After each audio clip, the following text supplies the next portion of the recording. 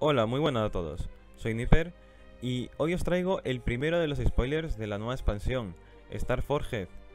Y nos traen cosas muy divertidas, como por ejemplo, vamos a empezar con esta carta bronce de neutrales, que es una carta de un coste aberrante, Mr. Full Moon. Cuesta 6 para ser un 3-3. Y su habilidad, lo único es que es muy circunstancial, porque es de fanfare, cambias el ataque de una de las criaturas enemigas con mayor ataque a 1, pudiendo afectar esto a la Aegis o a cartas que son bastante inaccesibles en otras circunstancias.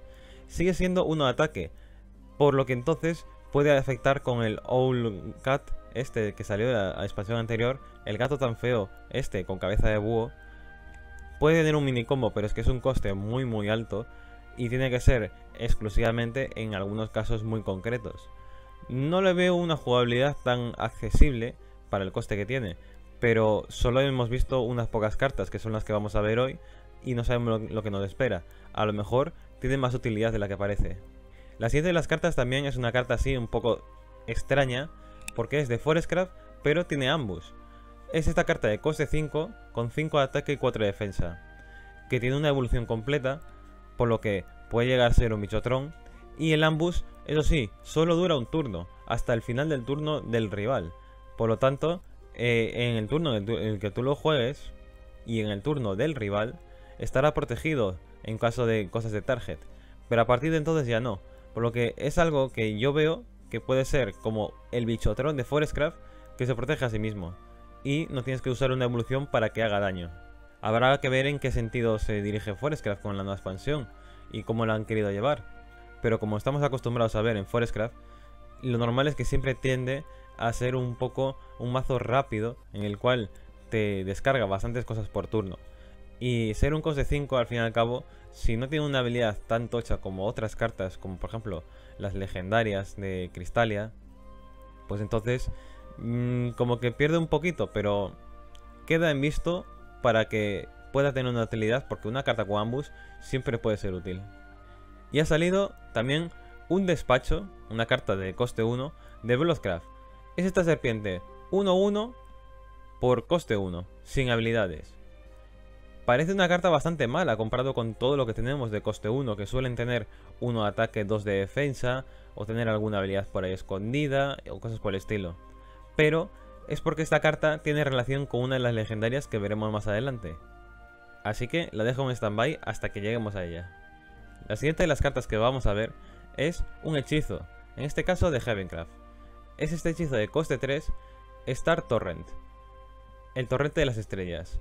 Es una carta que tiene una utilidad bastante denotada en los mazos estos en los que se llena la mesa de talismanes, porque es tanto un petadichos de cosas pequeñas como también un dañador hay que tener en cuenta que recordemos que Heavencraft se caracteriza porque las cosas que tienen 3 de vida no están seguras en mesa y no van a morir, van a ser bandiseadas. Por lo que esto puede ayudar a que lleguen a esos 3 de culo y además también puede limpiar mesas, haciendo uno de daño, porque recordemos que esto es como la lluvia de flechas.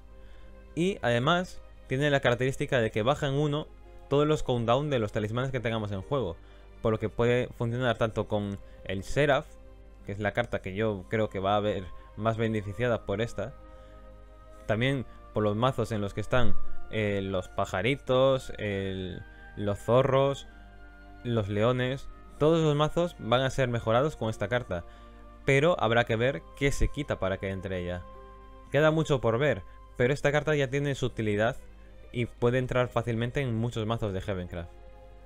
En Swordcraft nos traen una carta un tanto extraña dorada, que es un coste 1, con 1 de ataque y 2 de defensa. Ya de por sí, a ver, es un despacho. Tiene su utilidad. Por coste 1 no está nada mal.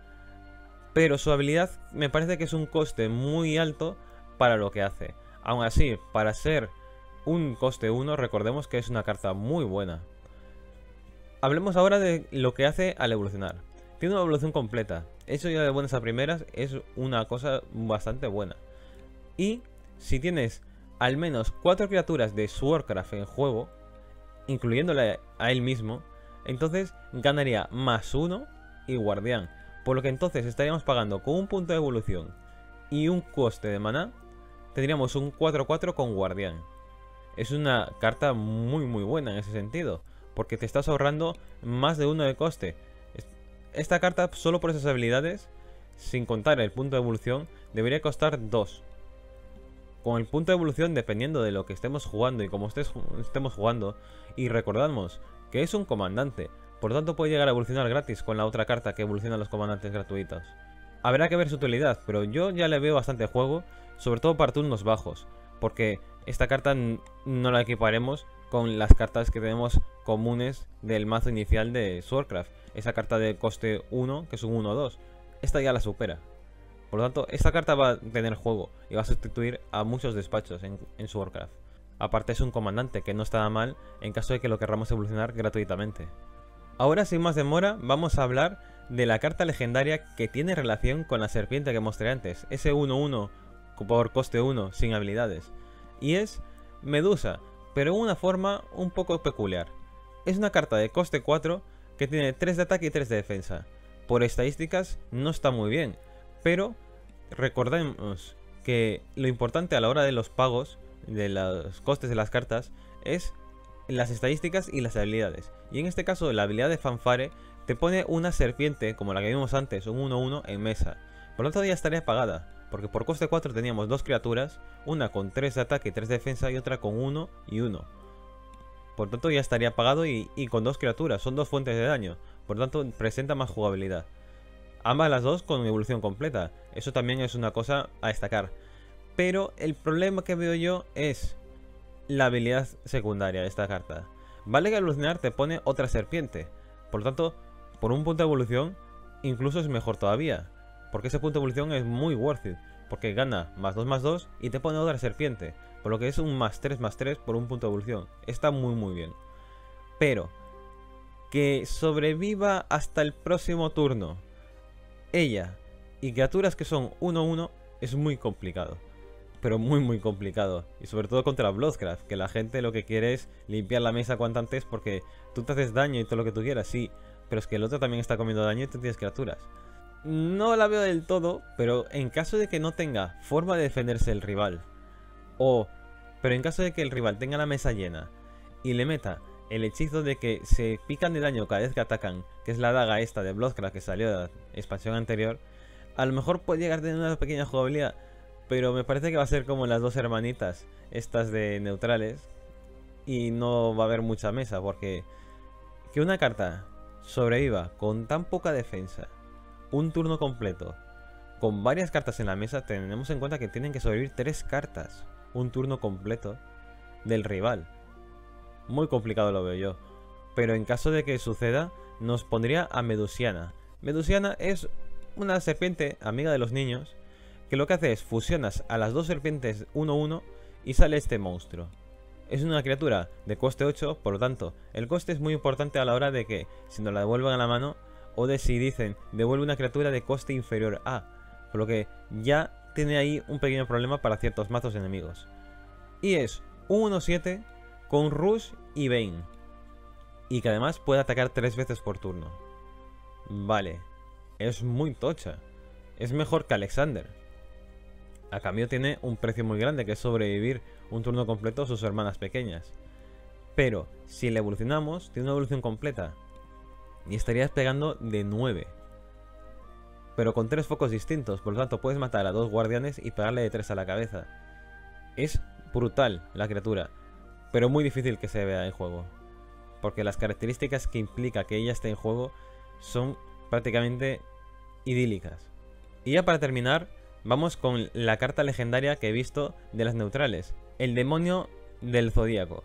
Es una criatura de coste 7 que es un 5-5 con evolución completa.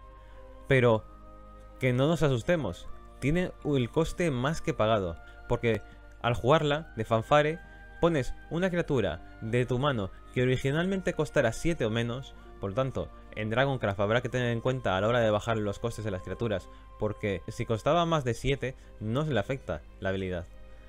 Pero, esta carta con otros mazos es brutal, porque esta criatura de coste 7 o menos entra en juego y la destruyes. Al destruirla hace X de daño y después se aplica lo de que haces X de daño a una criatura enemiga aleatoria. Vale, pero si no hay ninguna criatura enemiga aleatoria, ese es X de daño se lo haces a la cabeza del rival. Y X es el ataque de la criatura que has sacrificado. Por lo tanto, criaturas que no se suelen ver, que tienen muchísimo ataque, o criaturas que tienen habilidades al morir, van a ser muy útiles con esta. Por lo que claramente a la cabeza nos viene casos como, por ejemplo, el de Shadowcraft, que se nutre de cartas que mueren en tu propio turno. Y os voy a poner un caso práctico.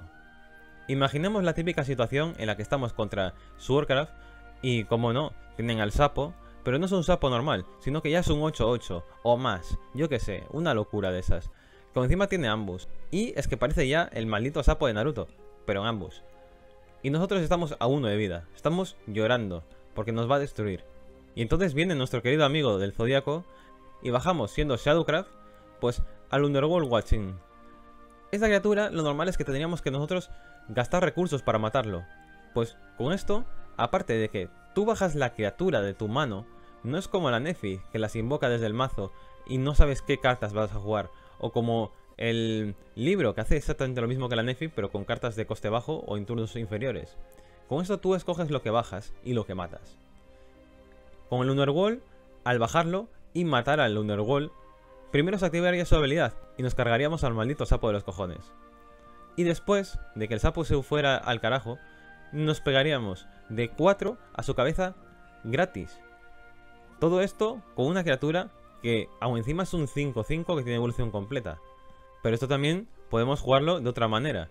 En mazos, por ejemplo, el de Swordcraft, podríamos jugar al War General, que pegaría de 5 de daño y aún encima dejaría a su guardián, que es el que pone cuando él muere, que no es tampoco una criatura bastante mala. Por tanto, estaríamos jugando dos criaturas fácilmente, haciendo muchísimo daño al rival, sin que se dieran cuenta prácticamente. Este ha sido un spoiler bastante bueno, y nos ha mostrado ya dos cartas legendarias y una que no es una carta legendaria por así decirlo porque es medusiana y solo se genera con la otra. Pero ya nos está mostrando en qué dirección pretenden hacerlo. Eh, que las cartas que sean dioses antiguamente ya podrán bajarse de su pedestal y a ver si las sustituyen otras. También implica esto un problema, el tema de que vamos a tener que renovar los mazos porque las cartas que vienen al menos las que nos han mostrado, incitan a que vayan a ser bastante buenas. Todo está por ver, recordemos que estas expansiones suelen ser de más de 100 cartas, y aún solo hemos visto el comienzo. A medida que vayan saliendo más spoilers, los iré publicando después de editarlos un poco, y os los traeré. Como también os traigo el tráiler que os mostré en el anterior vídeo, que mostraron el pack de esta expansión, pero en este caso con el audio que mola, en japonés. Así que os dejo con él. Y nos vemos en el próximo vídeo. Hasta luego. Hasta otra.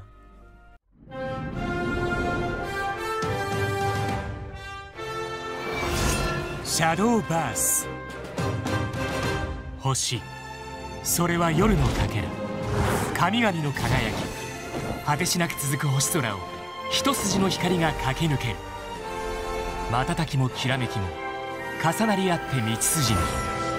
麗しく導きに従い若き選手は英雄となる。待ち受けるはあまたの試練あまたの窮地あざなえる彩花と奇跡。星がもたらす啓示の前ではいかなる脅威も砕け散る。定めを退けたその先に救うべき光が待つ。囚われの姫君その頬の涙は悲しき輝き。嘆きを切り裂く流星となって英雄は星空に勝利を誓う。星に選ばれし者よ天に輝く伝説となる新カードパック「スター・フォージット・レジェンズ精神の伝説」その輝きは銀河をかける